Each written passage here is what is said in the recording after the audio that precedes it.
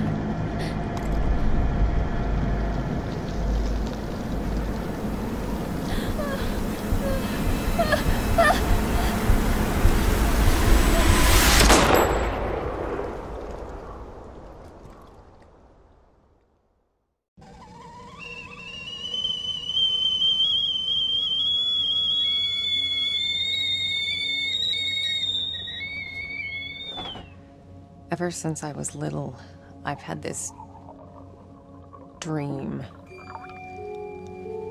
It's the end of summer. A girl is running through the woods. The moon, the scent of pines. And then the gunshot.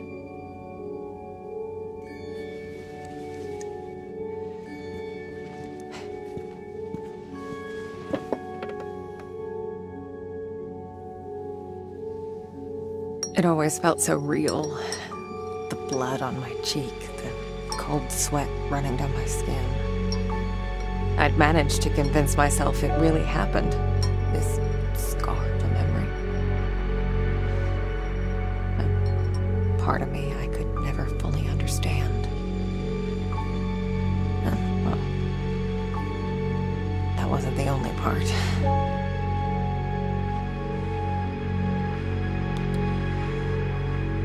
wonder people used to think I was strange. If they only knew.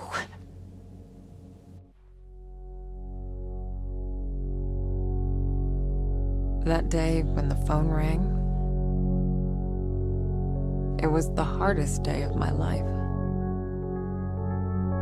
The day I went home to say goodbye to my father dress him up for his last journey. Put him in a suit, fix his tie. Simple. Just the things he did every day. But looking through his stuff wasn't easy. I needed a moment to pull myself together.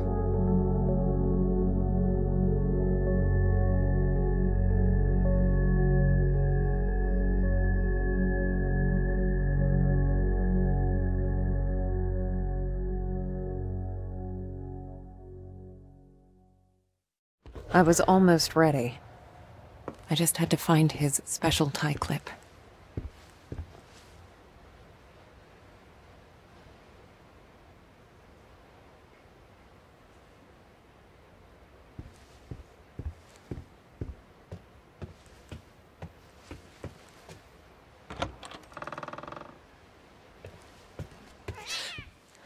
Shit.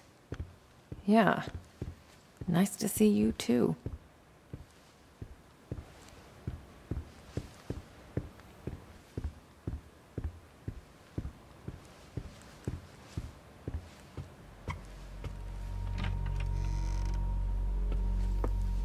Weird to be back in my old room. So many memories. Yeah. I used to have a thing for them. Don't know why, really. I guess they just used to make me happy. Jack knew it well. That's why there's so many of them here.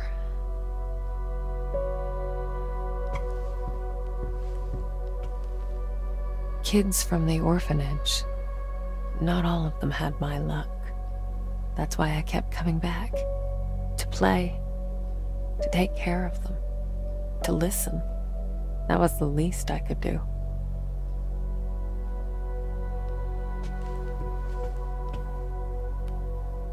I used to get a lot of these. To me, they were like trophies. Badges of honor for doing the right. Jack wasn't too amused, but he did his best to cover for me. I kind of feel bad for making him go through all that. My oldest family heirloom. As a kid, I'd usually say something like, Pretty sick, huh? I was such a dork.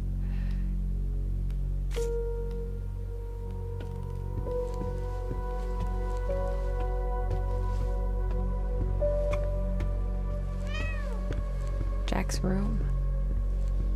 It's like he never...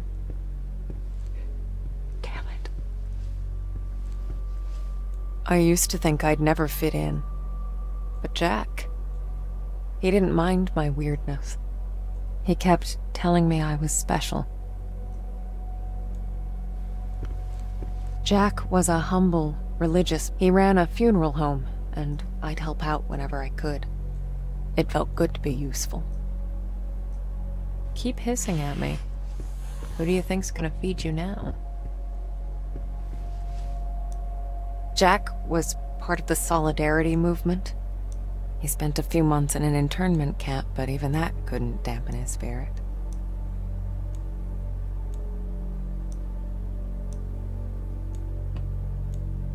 Come on, Jack. Where'd you put it? Okay. Let's do this the other way.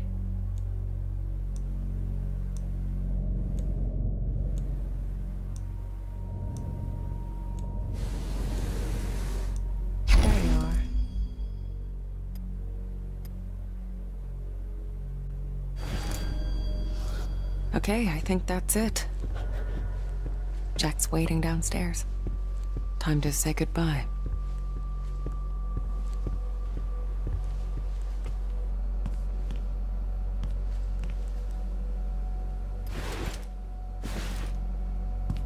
Looks nourishing.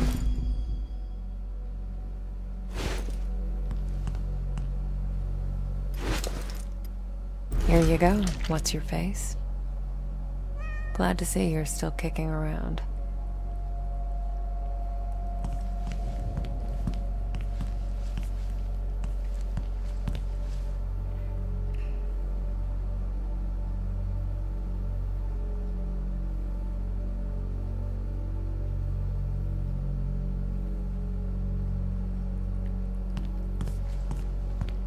I can't believe it's all still here.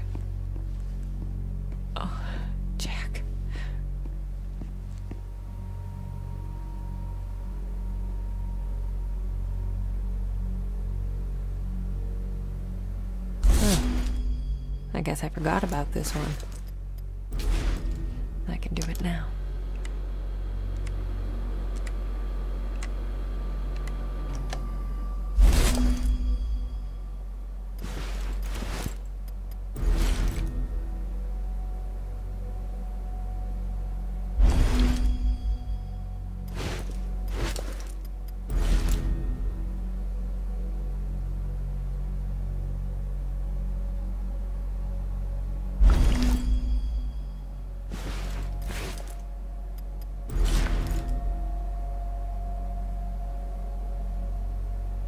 Was the last photo I took of you, Jack. Shit.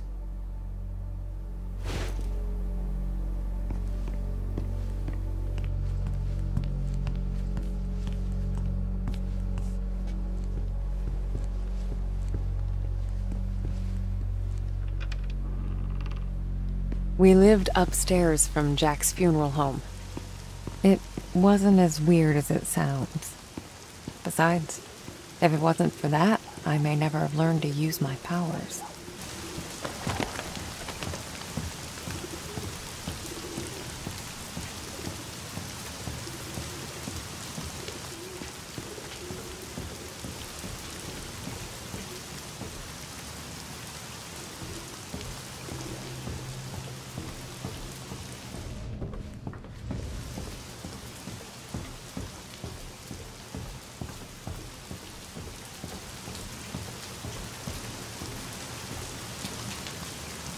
Jack taught me to accept my condition. Of all my foster parents, he was the only one who saw it as a gift and not a curse.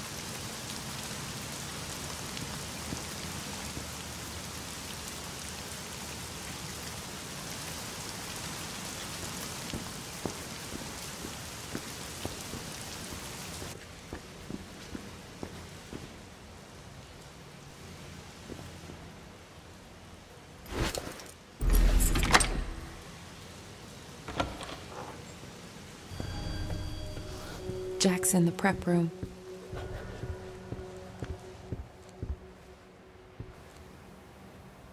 Oh, weird. I don't remember locking it. The key should be in the office.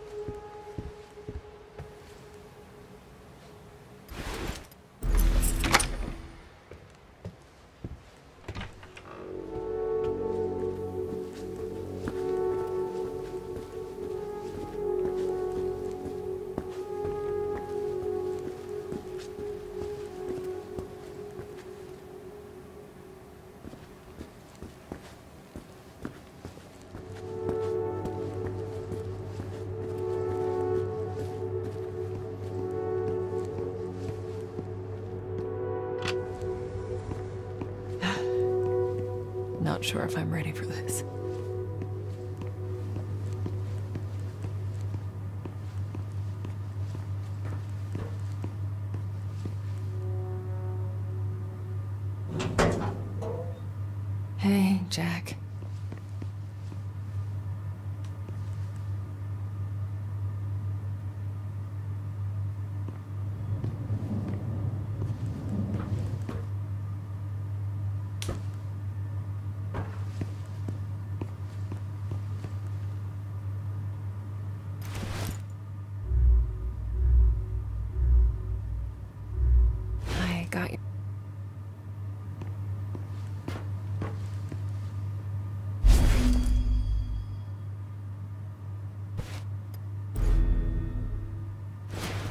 Snazzy. You wouldn't have it any other way.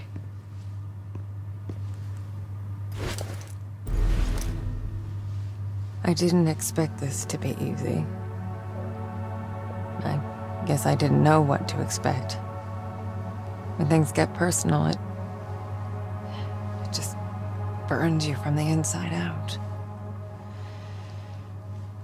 There. I guess you're ready.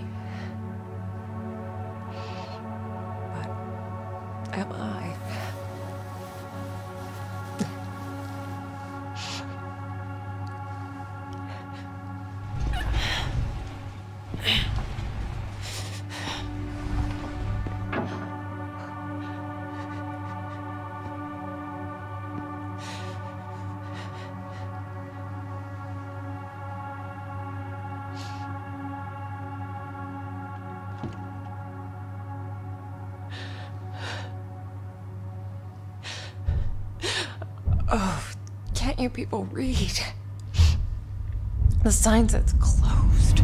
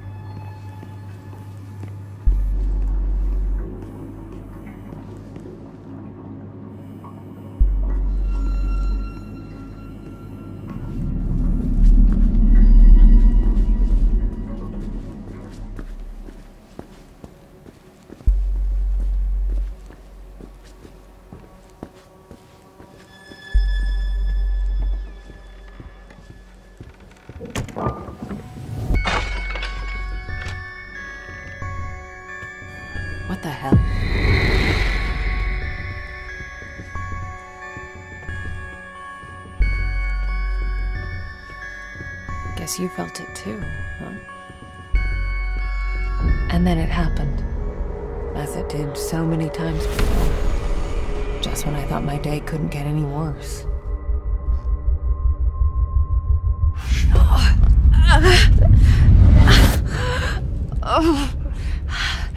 Oh, where is that darn notebook?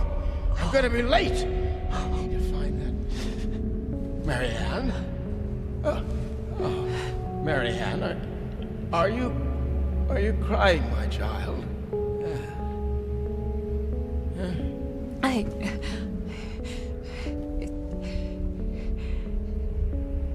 It's fine, Jack.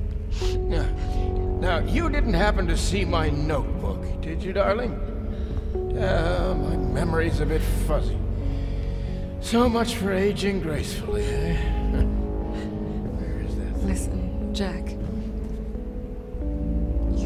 Probably get some rest. Forget the notebook. Oh, no, no, no. I've got so much work, my dear. It's I- okay, I know, Jack. I, I can't just... What? Let it go. Oh, It's not important. you... You are crying. What's wrong, dear? Oh, why is it so cold in here? Where is that damn notebook? Huh? It's okay, My sweet little Marianne. What would I ever do without you? Jack, Huh? don't worry about it. It's time to get some rest. Oh, Marianne. Yeah? Oh, uh, I, I, I'm worried about the surgery. When I'm at the hospital, are, are you sure you're going to be all right? Yes, Jack. It's gonna be fine. Uh, oh, you, you know, I, I promised myself once uh, I would never let anything happen to you. Not while I'm around. I'll be fine. I promise. No risky stuff, then. Huh? All right? All right, Jack.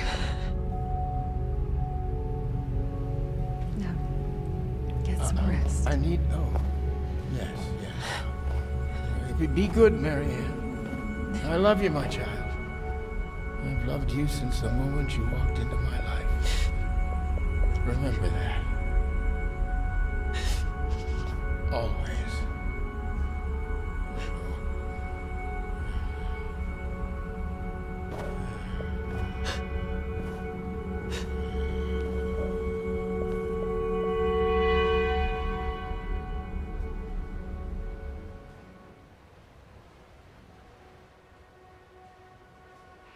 Most people would give anything to have that opportunity. To say all the things that were left unsaid. But it didn't make things any easier. I could help a thousand souls cross over, but when it came to Jack, it still hurt like hell. I love you too, Daddy.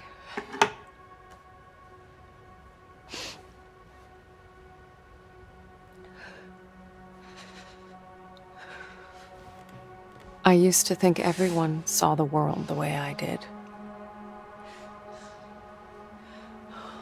Divided, torn between two realities.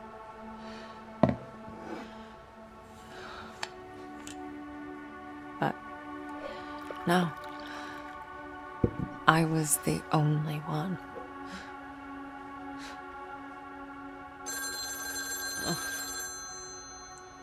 Or so I thought.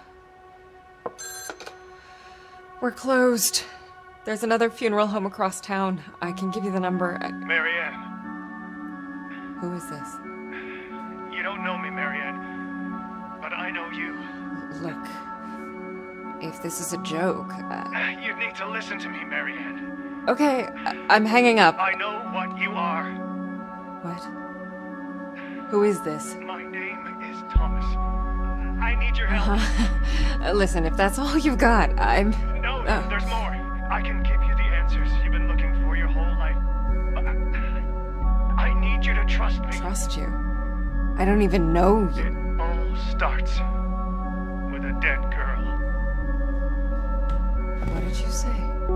The Niwa Resort. Find me there. Please. The light, it's almost gone. It's not dark yet, but it's getting there. You're the only one who can stop it. You're my only chance. Hello? Hello? Oh, shit.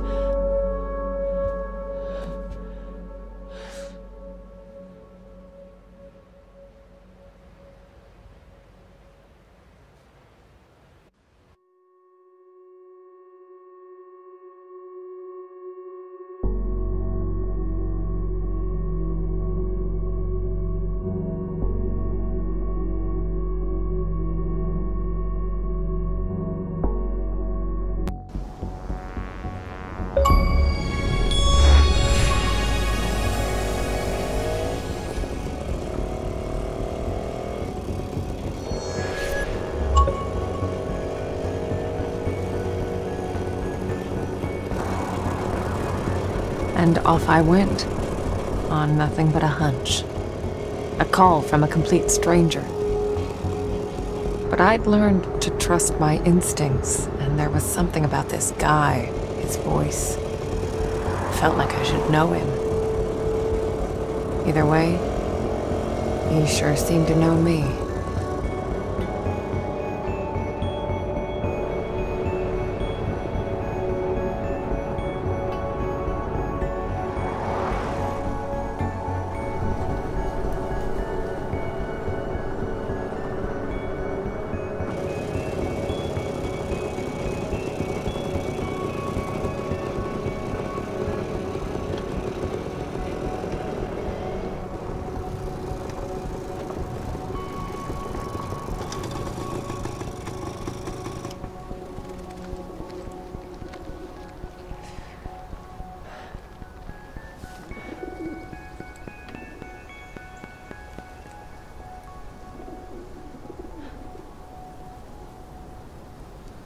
The Niwa Workers Resort.